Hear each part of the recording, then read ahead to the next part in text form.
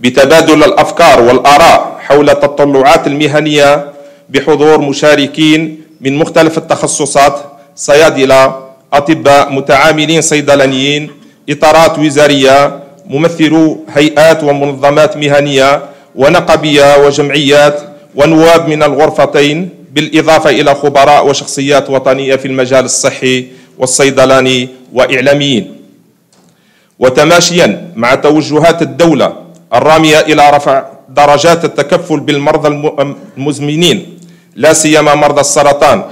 ارتأت نقابتنا تخصيص هذه الطبعة لتسليط الضوء على دور الصيدلي في التكفل بمرضى السرطان والأمراض المزمنة.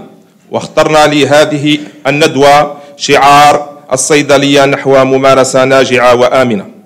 تحت الرعاية السامية للسيد وزير الصحة والسيد وزير الصناعة والإنتاج الصيدلاني سيتم التطرق لهذا الموضوع من جانبين. الجانب الأول يتعلق بالتعاون ما بين القطاعات الوزارية للتكفل بمرضى السرطان. والجانب الثاني يتعلق بدور الصيدلي في التكفل بالأمراض المزمنة. مع الخروج بتوصيات هادفة ستساهم دون شك في رسم خارطة الطريق نحو ترقية دور الصيدلي في المنظومة الصحية والصناعة الصيدلانية والضمان الاجتماعي من أجل تحقيق تكفل أحسن بمرضى السرطان.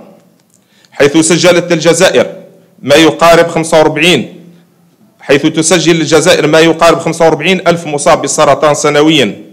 إذ يعنى هذا الملف باهتمام كبير من طرف الدولة الجزائرية وعلى رأسها السيد رئيس الجمهورية السيد عبد المجيد تبون حيث أعلن شهر جانفي الماضي عن تخصيص 70 مليار دينار لدعم الصندوق الوطني لمكافحة السرطان. كما قام بإنشاء تحت إشرافه المباشر هيئة وطنية لمكافحة السرطان والوقاية منه.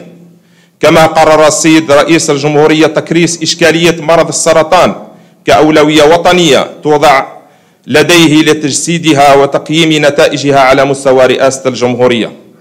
هذه القرارات تؤكد عزم الدولة الجزائرية مكافحة هذا المرض الخبيث بكل قوة.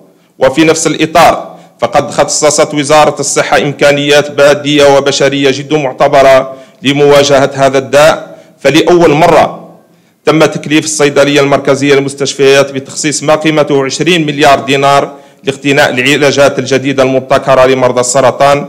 كما جندت 18 ألف مستخدم لمرافقة مرضى السرطان والتكفل بهم. كما أن إعلان وزارة العمل والتشغيل والضمان الاجتماعي منح بطاقات الشفاء للفئات المعوزة من مرضى السرطان الغير مؤمنين اجتماعيا تنفيذا لتوجيهات رئاسة الجمهورية يعد قرارا إنسانيا بالدرجة الأولى يستحق الإشادة به.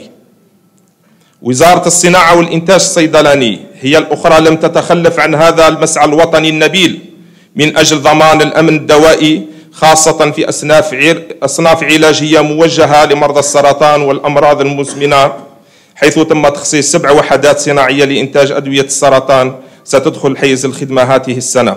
بالإضافة إلى أربع وحدات صناعية لإنتاج الأنسولين وهي وهي كفيلة بضمان وفرة دائمة ومستقرة في تلك الأدوية.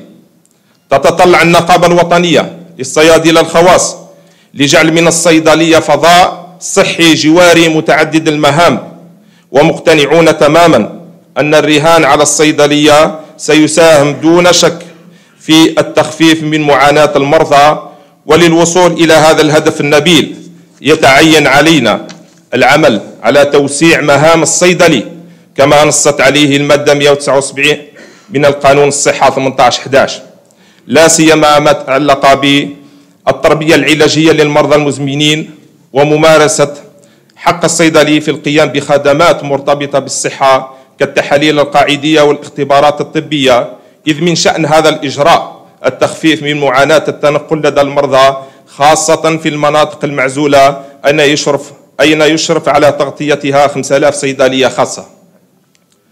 نتطلع كذلك السماح للصيدليات بصرف أدوية السرطان خاصة على شكل أقراص والتي يتم استعمالها عن طريق الفم. هذا الإجراء كذلك سيخفف من معاناة تنقل مرضى السرطان لمسافات طويلة للحصول عليها من صيدليات المستشفيات. رقمنة الصيدلية إحدى المطالب الأساسية للنقابة. لا يمكن أن يكتمل هذا المشروع إلا برقمنة الوصفة الطبية خاصة لما يتعلق الأمر بالمؤثرات العقلية والمخدرات وهذا تطبيقا لأحكام القانون 2305 المتعلق بالوقاية من المخدرات والمؤثرات العقلية وقمع الاستعمال والاتجار الغير شرعي بهما. إذ سيسمح هذا الإجراء بتتبع مسار كل الأدوية في الزمان والمكان كما كان لقرار السماح للصيدلي بتعويض الأدوية الأصلية بالأدوية الجنيسة أثر إيجابي مباشر في ترقية الصناعة الصيدلانية الوطنية وبلوغها نسبة 70% من تغطية الاحتياجات الوطنية. ونتطلع ونطمح أن يكون قرار مماثل يمكن الصيدلي بتعويض أدوية المماثلات الحيوية وفق إجراءات وأسس علمية. إذ سيساهم هذا الإجراء دون شك في ترقية صناعة الأنسولين وأدوية السرطان التي شرعت الجزائر فعليا في صناعتها. كما نطمح كذلك لإعادة النظر في أتعاب خدمات الصيدلي وهوامش الربح الخاصة بتسويق الأدوية الموجهة للاستعمال البشري عبر مراجعة المرسوم التنفيذي 98 44 بما يتوافق ويتماشى مع التحولات الاقتصادية التي عرفتها البلاد خلال 20 سنة الماضية حتى يتمكن الصيدلي من أداء مهامه على أحسن وجه. كل هذه التطلعات السابقة الذكر تحتاج إلى نصوص تطبيقية مستعجلة لجعل الممارسة الصيدلانية أكثر أمنا ونجاعة وأكثر تنظيما. النقابة الوطنية للصيادلة الخواص منظمة نقابية تنشط في إطار احترام القوانين المعمول بها تمثل قوة مقترحات وتربطها علاقات شراكة مع عدة قطاعات وزارية وهيئات وطنية ومنظمات مهنية وجمعوية تدعمت خاصة في الخمس سنوات الأخيرة. ساهمت وما زالت تساهم في العمل على تطوير النشاط الصيدلاني عبر تذليل تذليل الصعاب ومواجهة كل التحديات المهنية وشاركت بشكل فعال في إثراء عدة قوانين ونصوص تطبيقية خاصة في الخمس سنوات, سنوات الأخيرة أين نجحت في إثراء القانون 2305 المتعلق بالوقاية من المؤثرات العقلية والمخدرات وقمع الاستهلاك والاتجار الغير شرعي بهما. كما ساهمت كذلك في تأمين مسار المؤثرات العقلية من خلال مشاركتها الفاعلة في إعداد إحكام المرسوم 19379 المتعلق بالمراقبة الإدارية والتقنية والأمنية للمواد والأدوية ذات الخصائص المؤثرة عقليا.